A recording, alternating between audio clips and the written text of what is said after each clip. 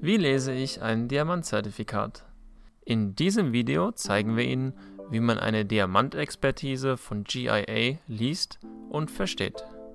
Aber der Reihe nach. Heutzutage kommen Diamanten in der Regel mit einem Zertifikat eines unabhängigen gemologischen Instituts. Ein solches Zertifikat ist eine Tatsachenfeststellung und Qualitätsbestimmung des Steins. Deswegen ist es wichtig zu wissen, wie man ein Diamantzertifikat liest, bevor man einen Diamanten oder einen Diamantring kauft. GIA Gemological Institute of America bzw. das Gemologische Institut von Amerika ist eine Institution im internationalen Diamanthandel. GIA ist federführend in der Bewertung von Diamanten und Edelsteinen.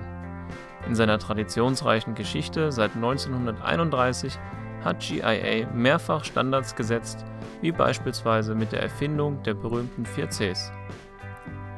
Vertreten in über 13 Ländern und mit mehr als 3000 Mitarbeitern weltweit unterstützt die Arbeit von GIA den Verbraucherschutz in der Schmuckbranche. Mit der unabhängigen Zertifizierung sowie durch ständige Forschung, Entwicklung und Ausbildung von Fachleuten wird das Vertrauen von Edelstein- und Schmuckliebhabern auf der ganzen Welt gestärkt. Gutachten von GIA gelten als Benchmark in der Schmuckbranche und sind weltweit anerkannt. So sieht ein GIA Diamantzertifikat aus. Als erstes steht das Datum in der linken oberen Ecke. Das Datum heißt nicht, dass der Diamant an diesem Tag gefunden wurde. Auch hat es nichts damit zu tun, wann der Diamant geschliffen und poliert worden ist. Stattdessen bestimmt das Datum den Zeitpunkt, an dem der Stein von Fachleuten im Labor geprüft und untersucht wurde. Ist das Datum überhaupt wichtig? Nun, Diamanten werden nicht schlecht mit fortschreitendem Alter.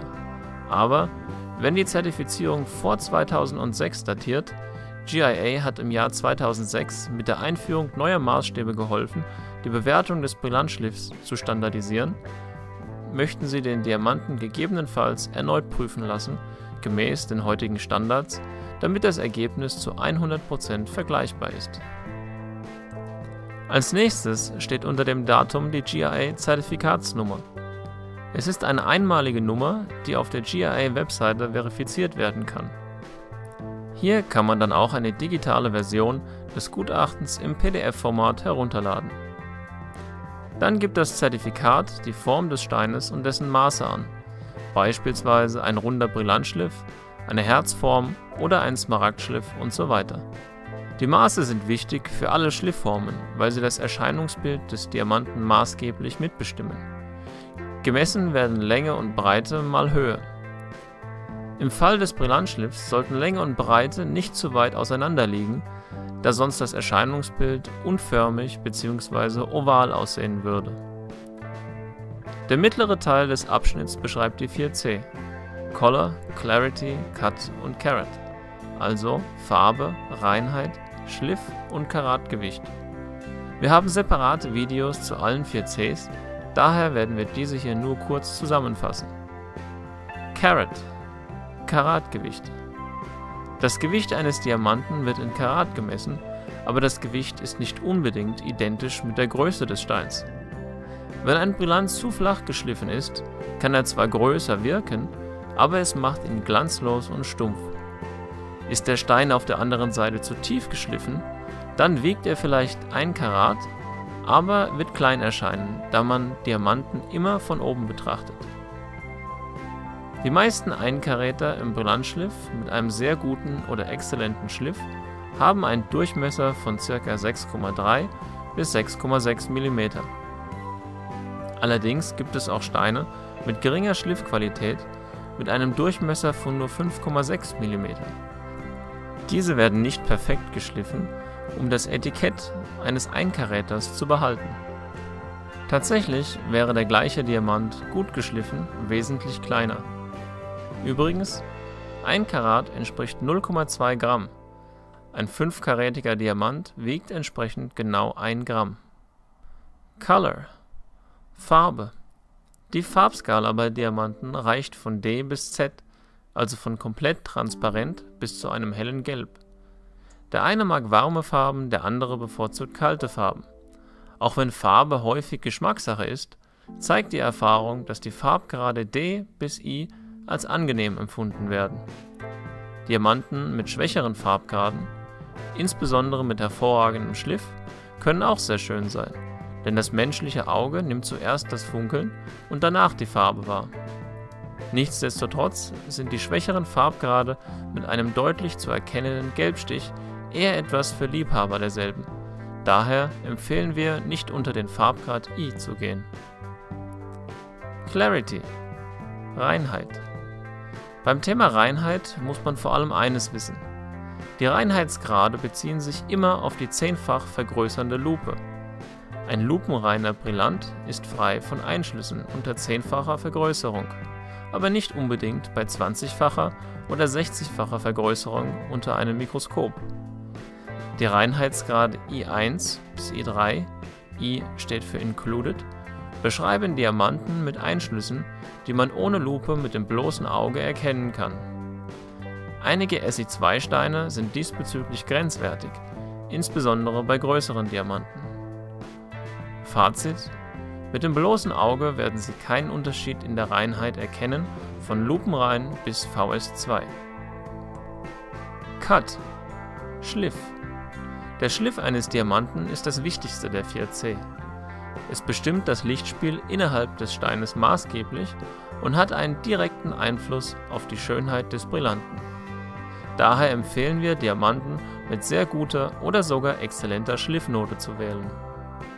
Manche gehen sogar über einen exzellenten Schliffgrad hinaus und wollen auch Politur und Symmetrie in der höchsten Güte. Wenn Schliff, Politur und Symmetrie jeweils mit exzellent benotet werden, spricht man im Englischen auch vom sogenannten Triple X, also dreimal exzellent. Ein Diamant muss nicht exzellent geschliffen sein, um atemberaubend schön zu sein. Aber die unabhängige Bewertung gibt Ihnen die Bestätigung, dass durch die perfekte Schliffausführung das Lichtspiel innerhalb des Brillanten maximiert ist. Es gibt nichts mehr zu verbessern. Eine wichtige Randnotiz an dieser Stelle. Es gibt immer wieder neue Theorien, wie man einen exzellent geschliffenen Diamanten noch perfekter macht.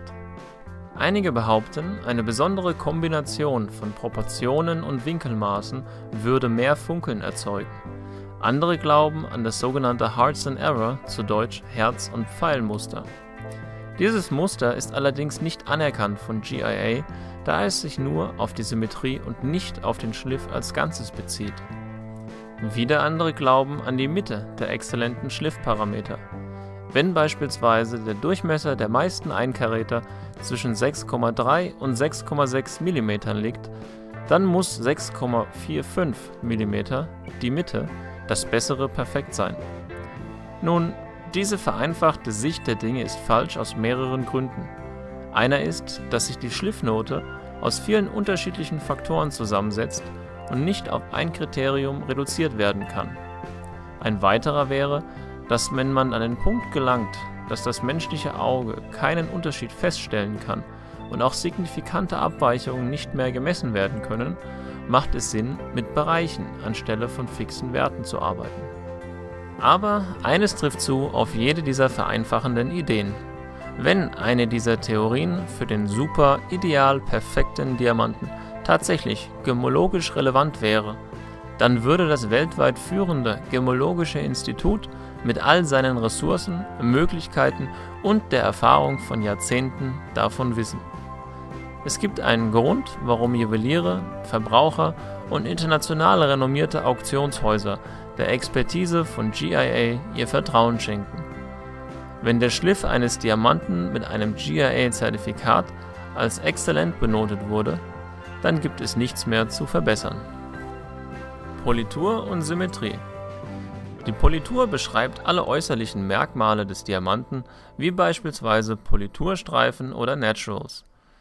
Symmetrie auf der anderen Seite bezieht sich auf die richtige Anordnung der Facetten und auf die Struktur des Steins. Fluoreszenz in drei Sätzen. Fluoreszenz ist ein optisches Phänomen, das Diamanten unter UV-Strahlung in der Regel blau aufleuchten lässt Ungefähr 25 bis 35 Prozent aller Diamanten zeigen einen unterschiedlich starken Grad von Fluoreszenz.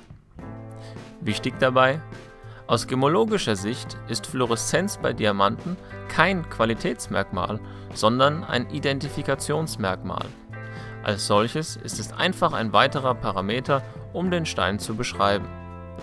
Bitte beachten Sie, an der Diamantbörse werden stark und sehr stark fluoreszierende Diamanten mit Rabatt gehandelt und günstiger angeboten. Mehr dazu erfahren Sie in unserem Video speziell über Fluoreszenz. Als nächstes kommt die Lasergravur. An dieser Stelle wird im Zertifikat festgehalten, ob der Diamant eine Lasergravur hat und was genau graviert ist.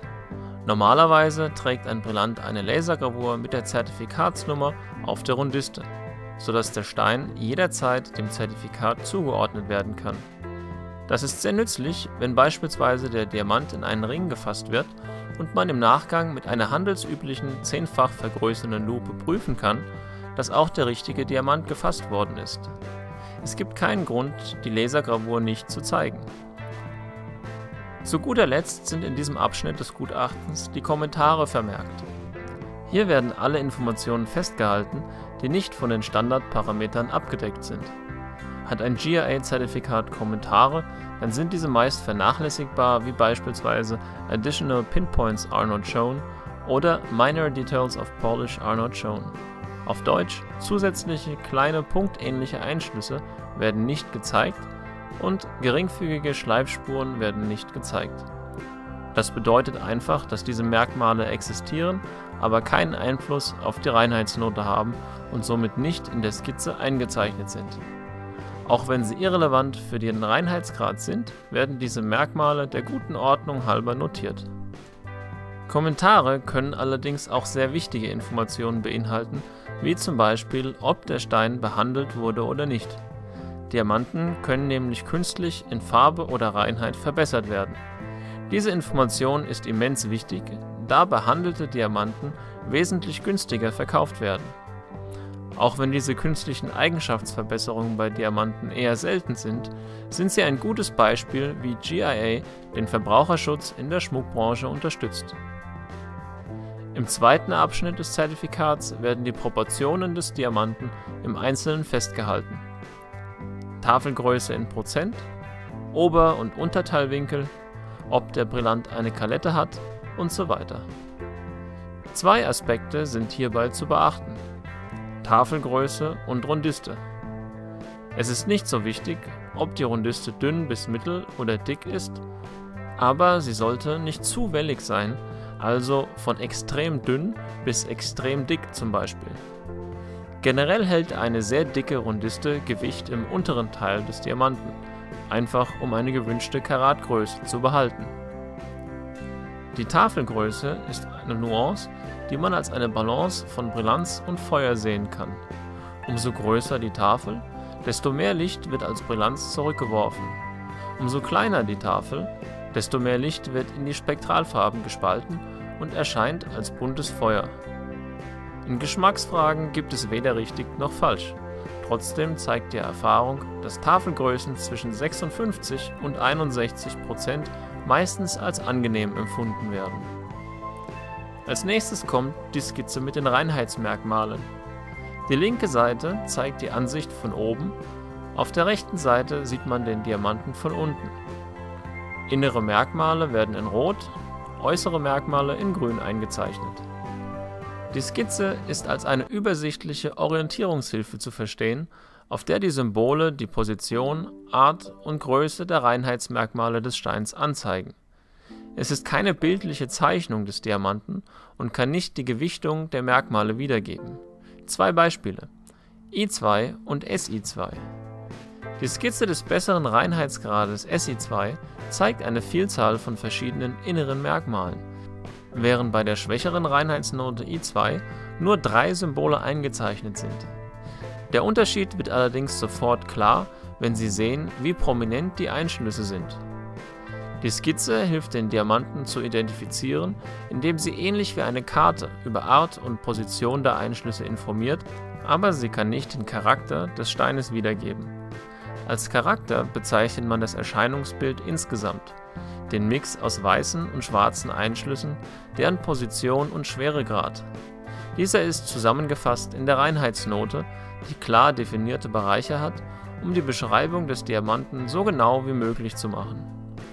Ein GIA-Zertifikat gibt es in unterschiedlicher Ausführung. Einmal als Diamond Grading Report mit der Reinheitsskizze oder in einem etwas kompakteren Format als Diamond Dossier ohne die Skizze.